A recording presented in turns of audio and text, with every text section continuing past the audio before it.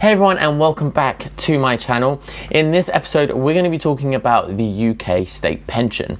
Now making sure we have enough funds to finance our retirement is quite an important part that needs our attention when we are considering what happens to our financial future. Now I've spoken about workplace pensions in a previous episode and today we're going to be looking at another method which of course is the UK state pension. The latest version of the state pension came into force on the 6th of April 2016 now, if your retirement date is falling on that date or after that date, your pension will be based on this new scheme.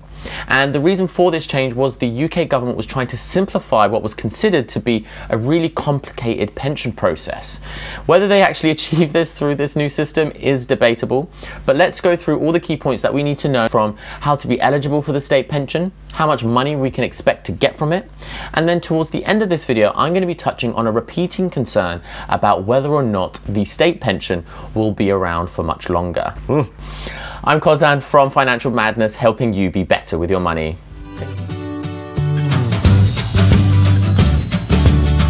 Firstly, let's look at how to be eligible for the state pension. Now, the criteria for this is actually twofold. The first one being your age, and the second being your national insurance contributions. Now, the age at which you get the state pension really depends on when you were born. Now, this is different for men and women. For men, if you were born before the 6th of December 1953, your state pension age is 65. If you were born on or after that date, your pension age is 66. For women, as I mentioned, is going to be slightly different. If you were born before the 6th of April 1950, your state pension age is 60. If you were born on or after that date, it is now 66.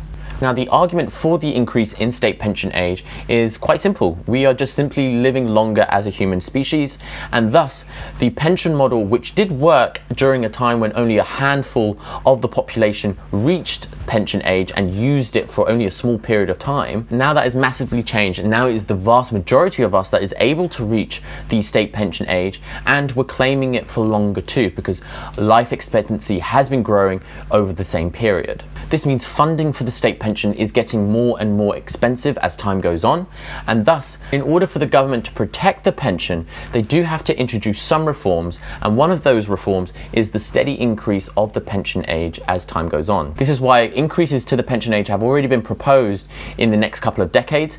In 2029, it's expected to go to 67, and in 2040, it's going up to 68. Moving on to the second criteria, which is your national insurance contributions. Under the new rules, you need to have paid 10 years of national insurance contributions to get any form of state pension. Now, the more years that you contribute to national insurance does mean that you get more money from the state. To get the maximum amount from the state pension, you do need to have contributed at least 35 years to national insurance. For most of us, we pay national insurance automatically through our employer, or if you are self-employed, this will be done through self-assessment. Now, you do have to earn above a certain threshold for your national insurance contributions to count. This is what is typically known as the qualifying years. For employees, you do need to take home £120 per week for those that are self-employed, it is £125 per week. However, if you are not working, you can still claim national insurance credit if you are raising a family, if you are caring for someone who is sick or disabled, if you are on job seekers allowance, or if you are in full-time training. Now you can actually check your current national insurance history by going onto the government gateway website. I'll put a link in the description box down below. Now you do have to provide some identification to sign up to the website, um, which I actually did find a bit tricky. For whatever reason, they didn't accept my payslips, um, so I did have to share with them my P60, which um, did work out fine in the end. But once you do get on it, it gives you a really good breakdown of how many qualifying years you've done so far, and if you want to make additional contributions, you're welcome to do so as well. Now the next point is to understand how much money we can get from the state pension.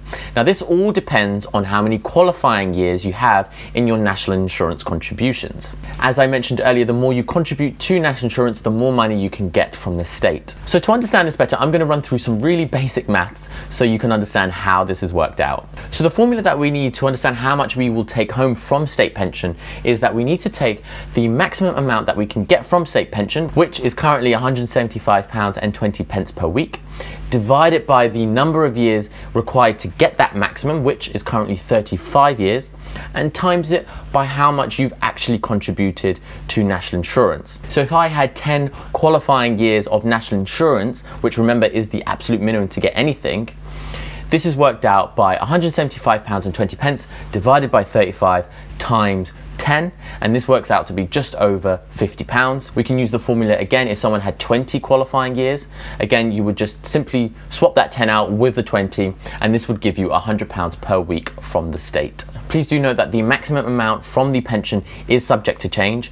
These are adjusted every year to account for inflation. Now you can actually increase the amount that you get from the state pension and this can be done from either of the following two ways. The first one being is that you can actually delay your state pension withdrawals.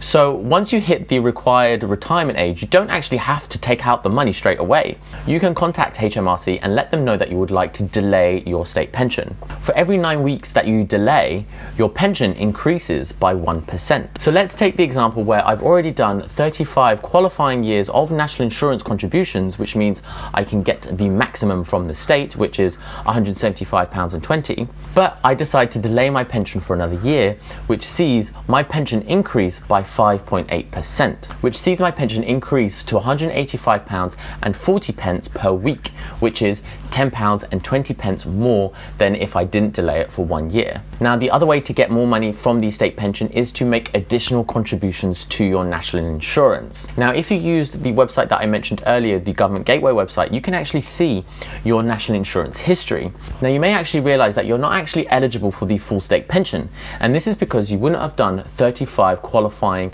national insurance contributions to meet that requirement.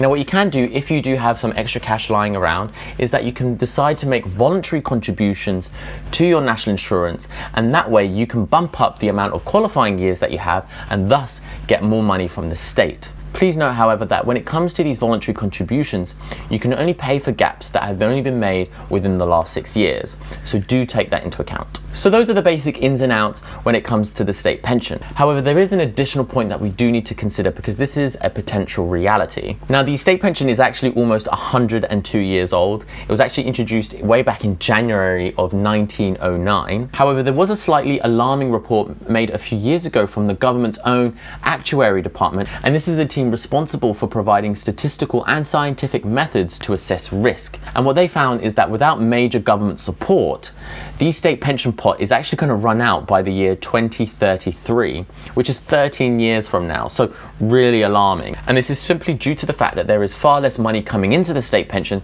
than we are giving out. The money for state pensions is predominantly funded by national insurance contributions. The ratio between those that are contributing to national insurance versus those that are withdrawing the money for state pension is at an unsustainable rate. And unfortunately, the outlook for the future the evidence suggests it's not going to get any better. And this is why I've said in my previous videos, we really shouldn't be relying on the state pension when it comes to funding for our retirement because we cannot guarantee in what shape or form it is going to be left like in a couple of years. We really need to be looking at other ways to do this because not only is the state pension not guaranteed to be around for much longer, but even if it did stand the test of time, £175 per week won't be enough for most families or individuals so we will either have to compensate by massively reducing our lifestyle or you just simply have to work for longer to make ends meet. So in either scenario, whether the state pension lives or dies, we really do need to take some responsibility and make sure that we have another way of funding our retirement. Some great methods to do this is that you can contribute to your workplace pension or your private pension where you currently get tax relief every time you contribute or you can open up a stocks and shares ISA or a lifetime ISA and these are really good tax efficient tools for investing in the long term.